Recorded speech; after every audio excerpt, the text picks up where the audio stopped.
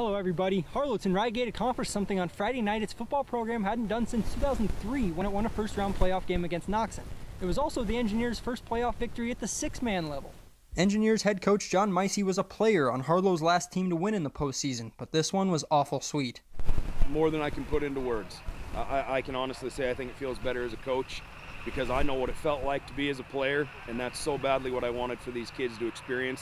For them to get to experience that, I I can't even put into words how that feels. This whole uh, week, we, that's kind of been our thing. Like we want to be that team that ends that drought for Harlow. We've had teams that have been good enough, but they just don't ever have it at the end of the season. It's kind of nice that we have a core group of kids. We've been in the weight room for four years. It's just been a big thing of our like coaches pushing us to be better, and it's just it's it's really nice for us to come through and finally get a playoff game for Harlow and win the first Central uh, Division title. The Engineers had to battle their opponent as well as the elements on Friday night. Temperatures were in the 20s and snow fell heavy throughout the game, but Harlow Ryegate was prepared for it. Micey even commented he was surprised the snow was falling straight down rather than sideways. You know, the benefit of Montana weather, especially Harlow weather, is if you don't like it, wait five minutes and it'll change. We've had this all week, so I think we were a little bit more prepared. You know, a lot of parts of the state, if you look, didn't have this snow, didn't have the cold. We were out in it all week practicing. I think we were prepared for it. Played right into our hand, actually.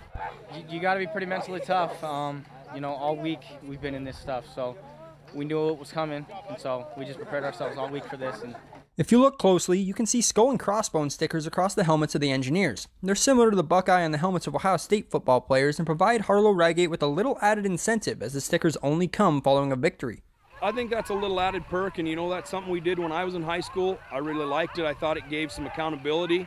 You know, when you look at the kids who have the big stickers, they're making the big plays. You know, and that, that's the reality, but it also gives accountability to everybody. I give them for 100 yards of offense, so even the linemen are getting them.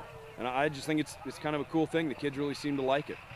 The Engineers won't be as fortunate to play at home in the quarterfinals, as they'll have to make the long trip east to play Froid Medicine Lake.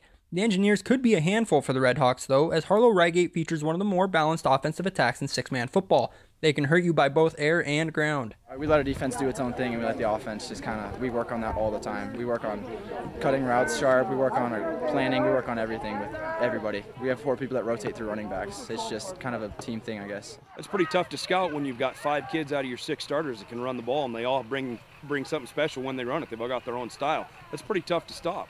Harlow Ryegate has one playoff win under its belt and is looking to keep the train rolling. For MTN Sports, I'm Alec Boffinger.